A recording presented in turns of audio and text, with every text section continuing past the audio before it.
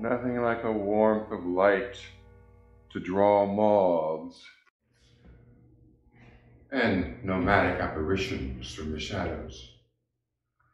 3 a.m., the height of the witching hour. A good time to reflect, although time is elusive, like sand escaping through open fingers, but in a way that's comforting. No longer feeling the gravity of past regrets pulling you backwards, or the seduction of an enticing future pushing you forward. Just a, hmm, detached equilibrium, for lack of a better description. For me, time has stopped. There are two primary ways to stop time the power of imagination and death. As for death, I think Socrates said it best. Death is a very narrow theme, but it reaches a wide audience. And immersion within the universe of imagination has the power to shatter time's boundaries. Imagination, death. I've experienced both.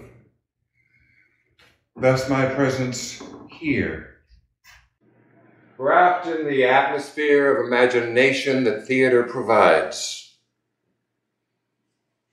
In case you haven't figured it out by now, I'm a dead actor, aka a thespian that has shuffled off this mortal coil.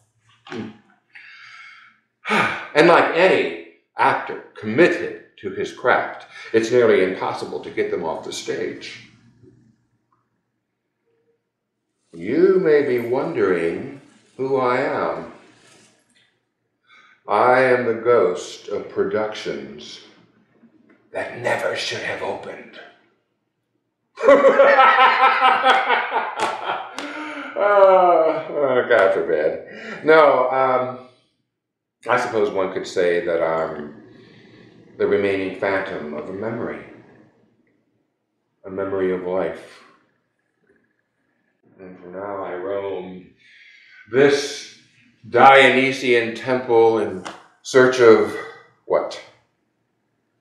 Well, not in search of a prop.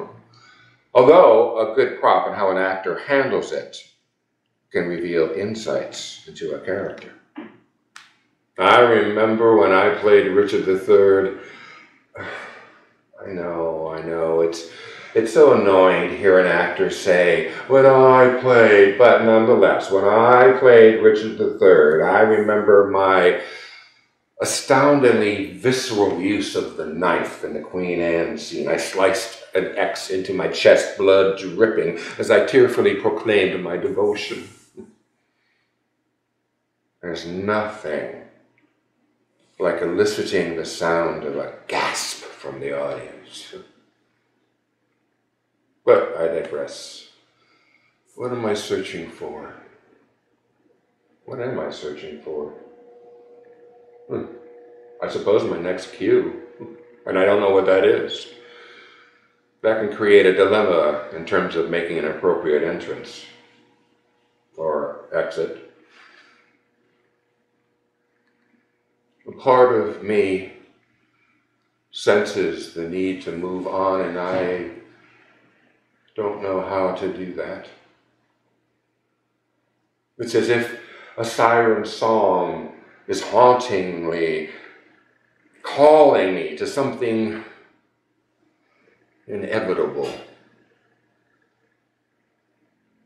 A final curtain. Perhaps another play.